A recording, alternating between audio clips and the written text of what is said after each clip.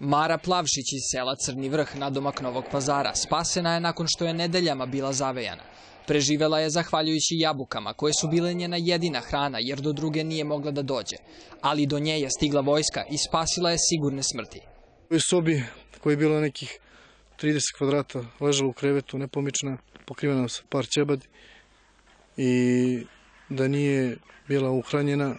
Najkritičnija mesta su i Sjenica, Prijepolje, Novi Pazar, Ivanjica, Kraljevo, Kuršumlija. Na području Kraljeva i dalje su neprohodni putevi do više desetina planinskih sela u kojima živi više od hiljadu ljudi. Spasilačke ekipe meštanima tih sela peške dostavljaju pomoć. Saša Vidosaljević je došao u Drupu da spase penzionera Slavka Pavlovića koji je radio u Magrohomu 40 godina i zaslužio je da se spasi sela Drupe koje je u najgorem situaciji sad je sneg. U Loznici se nestaje sa čišćenjem jer nestaje ni sneg. Teška situacija je i u opštini Kuršumlija. Zavejano je 30 sela u kojima živi više od 2000 ljudi.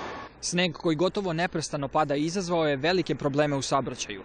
Iz Automoto Saveza Srbije poručuju da je najkritičnije na području Smedereva, Požarevca, Velikog gradišta, Srema, Negotinske i Timočke krajine. Na put zaista ne treba kretati bez preke potrebe. Autoput je veoma klizav, ima i snega, tako da je svako prestrojavanje veoma opasno. U Valjevskom kraju ne isključuje se mogućnost da bude prekinut saobraćaj ka divčibarima i mravincima. Mogući su kratkotrajni prekidi zbog snežnih nanosa jer vetar e, duva na toj deonici. Moguće su i snežne lavine kamionima sa prikoličama i šleperima. Zabranjeno je kretanje ka e, divčibarima. Na beogradskim ulicama gužvi nije bilo, ali ne zbog očišćenih ulica, već zbog toga što su gotovo svi ostali u kućama. Predrag Đurković, Prva televizija.